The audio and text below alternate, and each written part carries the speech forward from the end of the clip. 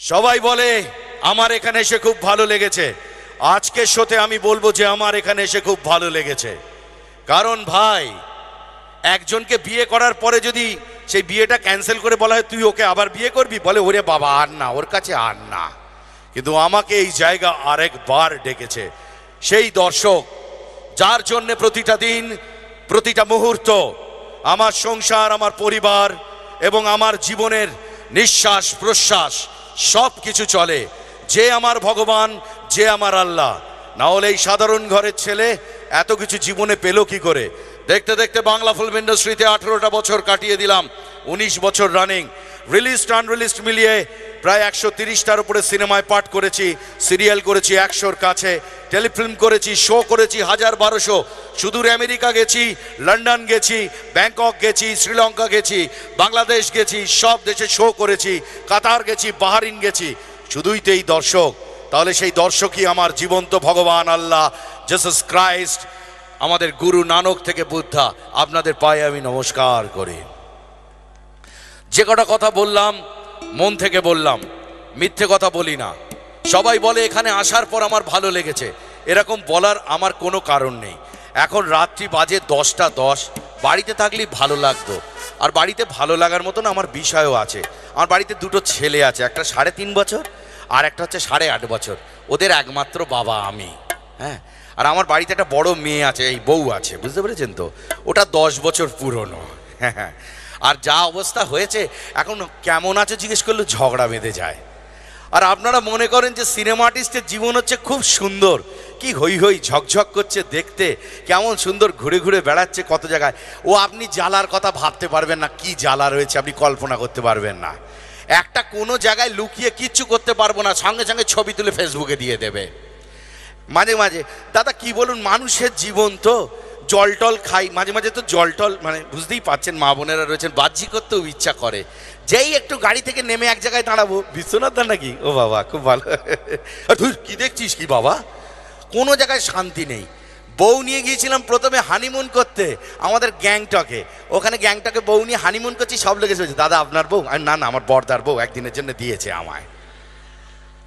দুটো ছেলেকে নিয়ে দাদা এদিক ওদিক যায়। দাদা, আপনার ছেলে? কি বলব বলুন তো, এই কথাটা বললে তো বাজে মানে দাঁড়ায়।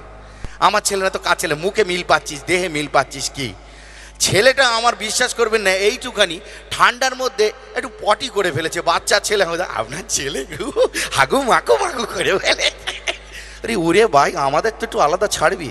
আমাদের মাঝে মাঝে ভালোই তো আছেন আলো কিসের ভাই, কিসের ভালো আছি না, এই যে এত নায়িকা টাইকা, ও ও তো গিয়ে অপরাজিতা হাড্ডোর হাত ধরতে পারছে না, রচনা ব্যানার্জিকে ধরতে পারছে না, নুসরাতকে ধরতে পারছে না, আমাদের উপর খুব রাগ।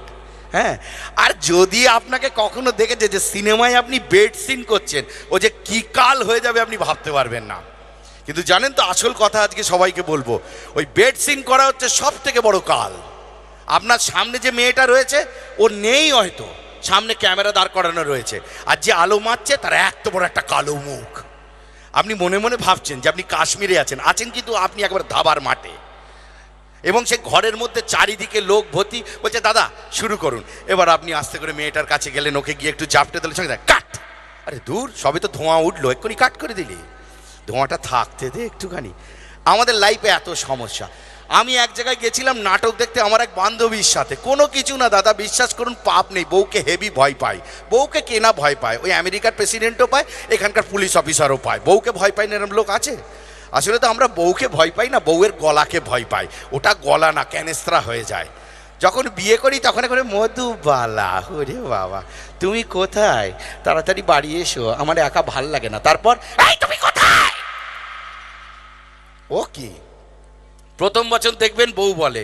তুমি কোথায়? তাড়াতাড়ি বাড়ি এসো, আমার ভালো লাগছে না। সেকেন্ড বছর।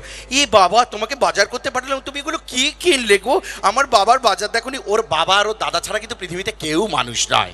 একমাত্র ওই মেয়েদের ওর বাবা দাদাই হচ্ছে মানুষ। আর তৃতীয় বছরে কি বলবে, আমার কার সাথে বিয়ে হলো? আমি ভাবতে পারিনি তোমার মতো। চতুর্থ বছরে গিয়ে, গাধা পেয়েছি জীবনে! একটা আস্ত গাধা! আর পাঁচ বছরের সময় ঝগড়া যেখানে গিয়ে দাঁড়ায় না, পাড়ার লোক কিচ্ছু বুঝতে পারে না। সারাক্ষণ মনে বাড়ির ভেতরে কি হচ্ছে? একটাই সাউন্ড হ্যাঁ। দাদারা খুব হাসছে, ভাবছে আমাদের মনের কথা বলছে বিশ্বনাথ। কিন্তু আমার এখানে একটাই গন্ডগোল। এই যে আশীর্বাদ এই ভিডিও করছে না, সব জায়গায় নাকি দেখাচ্ছে। ভুলক্রমে যদি আমার বউ দেখে, আপনারা পরশু দিনই শুনবেন বিশ্বনাথ রুবি হসপিটালে ভর্তি রয়েছে। বিশ্বনাথের কিডনি খুঁজে পাওয়া যাচ্ছে তো লাংস খুঁজে পাওয়া যাচ্ছে না। দাদা, আমি জানি, অনেক বড় বড় লোক আমাকে বলেছে, ভাই, যদি ঝগড়া করতে হয়, যে কোনো লোকের সাথে ঝগড়া করতে পারো। নরেন্দ্র মোদীর সাথে ঝগড়া করলে অন্য দেশে চলে যাবে, মমতা ব্যানার্জির সাথে ঝগড়া করো, অন্য রাজ্যতে গিয়ে থাকবে। বইয়ের সাথে যদি ঝগড়া করো, একমাত্র জমে দুয়ারে গিয়ে থাকতে পারবে, তুমি থাকতে পারবে না।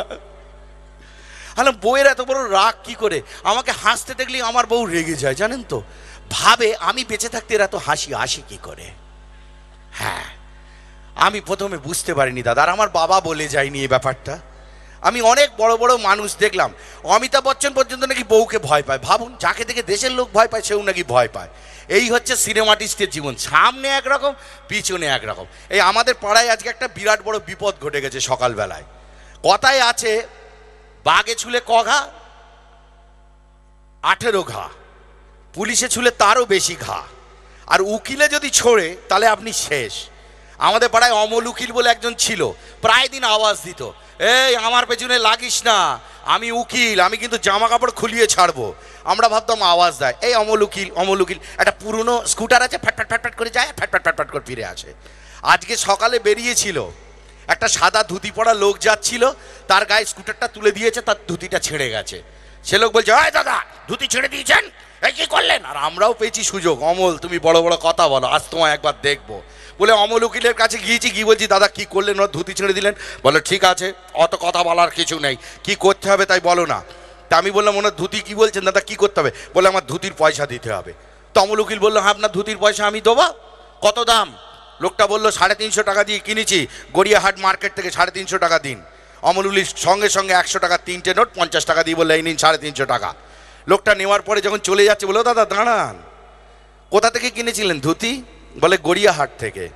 দোকানে কেনার পর কি করেছিলেন? ধুতি নিয়ে বাড়ি এসেছিলাম, তা আপনার ধুতি তো আমি কিনে দিয়েছি, ধুতি দিন বাড়ি যাব। বলছে, সে কি? রাস্তার মধ্যে ধুতি খুলে নিলে তাহলে আমি কি করে বাড়ি যাব? বলে, সেটা আমার জানার কথা নয়, আপনি টাকা চেয়েছেন, আমি দিয়েছি, ধুতি তাহলে আমার। সবাইকে বলল, সবাই আমরা বললাম হ্যাঁ। তখন ওই লোকটা বলল, আমার টাকার দরকার নেই, আপনার টাকা ফেরত নিন, আপনার সাথে কথা বলাই ভুল হয়েছে। বলে, ও দাদা, ফেরত দিলেই বা আমি নেব কেন? গড়িয়াহাটে যে দোকান বিক্রি করে দিয়েছে, ওকে আপনি ফেরত দিলে ফেরত নেবে? বলে না, নেবে না। তাহলে কি করতে হবে? বলে, কত টাকায় কিনেছি সেটা আমি ঠিক করব। গড়িয়াহাটের দোকান দুশো আশিতে কিনে সাড়ে তিনশোয় আপনার বেচেছে। আমি সাড়ে তিনশোয় আপনার থেকে ধুতি কিনেছি, সাড়ে সাতশোয় বেচবো। সাড়ে সাতশো টাকা দিয়ে তারপর গেল। আর বলে গেল, উকিলের পেছনে কখনো লেগো না। আমি শুধু শিখলাম যে মানুষের কাছ থেকে, মানুষের কাছ থেকে যা শেখার আছে পৃথিবীতে কোথাও না। লোকে বলে আমাকে, দাদা অ্যাক্টিং করতে গেলে কি হবে? কি লাগবে? আমি বলি, কিচ্ছু লাগবে না, শুধু মানুষ দেখো। কত রকমের মানুষ বলুন তো আপনার আশেপাশে ঘুরে বেড়াচ্ছে, কত রকম তাদের কথা, কত রকম চুল আঁচড়ানো, কত রকম মুখের ভাষা। কেউ দেখবেন, এই পড়ে যাব না তো এখান থেকে হ্যাঁ কেউ দেখবেন হাঁটার স্টাইল দেখবেন একটু নায়কদের মতো, এরম হাঁটে।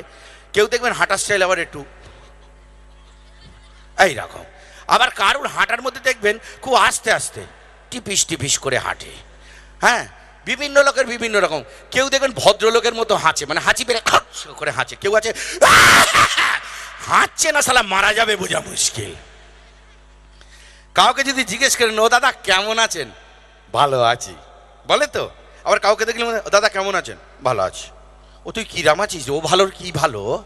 আবার কাউকে বলে কোনো সাউন্ড করে না দাদা কেমন আছেন? "হুম, মানুষের থেকে বড় জিনিস কিছু নেই। কত লোক আছে দেখবেন সুস্থ মাথায় কত বলে, কত লোক আছে দেখবেন অসুস্থ মাথায়। কোনো কারণ নেই, অকারণ নেই, ঝামেলা বাঁধিয়ে ফেলল। এখানের মধ্যেই আছে, বুঝতে পেরেছেন?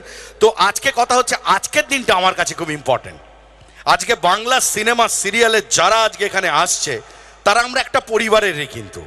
আমার গুরুদেব রয়েছে, আমার শিক্ষক সম খরাজ মুখার্জি, কাঞ্চন মল্লিক, রুদ্রনীল ঘোষ, ছোট ভাই আসছে সৌরভ, সবে কেরিয়ার শুরু করেছে, সিনেমা করছে। সেই জন্য আজকের দিনটা খুব ইম্পর্টেন্ট কিন্তু একটা কথা, আমি একমাত্র বাংলা সিনেমায় নায়ক হতে এসেছিলাম, কিন্তু আমার স্বপ্ন সফল হয়নি। আমায় তো কিছুটা বলুন, টিভিতে সিনেমায় যা দেখেন তার থেকে সামনে আমি দেখতে ভালো। ভালো কি খারাপ? ভালো না? একটা কিছু বলছেন না, যেন মনে হচ্ছে ছেলে পছন্দ হয়নি, বিয়ে করবেন না। একটু লম্বা আছি না? আমি সিনেমায় নায়ক হতে এসেছিলাম, কিন্তু এইটা উঁচু থাকার জন্য আমার কিচ্ছু হলো না। লোকে ভগবানকে কপাল দেয় আমার একটা পেট দিয়ে পাঠালো ভগবান, আর একটা গাল। ওরা কিন্তু কেউ নায়ক হতো না। খরাজদার ওই চেয়ারে নায়ক হবে। এই মোটা। কাঞ্চনের চেয়ার তো দেখাই যায় না। রুদ্রনীর প্রয়োজনের তুলনায় বেঁচে। সৌরভের এখনও দাড়িই ওঠেনি। ও ফলস দাড়ি লাগিয়ে আসছে। কিন্তু আমি নায়ক হতে পারলাম না। প্রথম থেকেই জীবনটা আমার একদম আটকে গেল। আর নায়ক হতে গেলে কিন্তু আপনার খাওয়া দাওয়া করা চলবে না। আপনাকে ডায়েট কন্ট্রোল করতে হবে। আপনাকে কম জিনিস খেতে হবে। আর ওই ডায়েট কন্ট্রোল যদি আপনি করতে যান, মাথা ঘুরে পড়ে থাকবেন রাস্তার মধ্যে। একদিন সকালবেলা দেখি জিত কি একটা ঘ্যাঁট গুলে খাচ্ছে। সিন্নির মতো দেখতে। আরে মো কী খাচ্ছে? বলে, খাবি? আলা হ্যাঁ খাব। তার মধ্যে কাজু কিশমিশ দিয়ে মাইকে খাচ্ছে। যেই মুখে দিয়েছে, বিশ্বাস করুন, অন্নপ্রাশনের ভাত উঠে আসবে মনে হলো আমার। আলম কি খাচ্ছে? বলে, খা না। না, দাদা শীতকালে তো এমন নলেন গুড়ের রসগোল্লা রয়েছে, এত বড় বড় বড় মোয়া রয়েছে, অত কপির তরকারি রয়েছে, মাছ রয়েছে, তার মধ্যে থেকে ওই খেতে যাব কী করে? সেখান থেকে নায়ক খাওয়ার ইচ্ছা একদম ছেড়ে দিয়েছি। তবে ওই ইচ্ছাটা অন্য জায়গায় লাগিয়ে দিয়েছি। সেটা হলো অভিনয় করব, মানুষকে আনন্দ দেবো আর গান গাইব। আপনারা বললে গাইবো, না বললে শুধু কমেডি করব। গান গাইবো?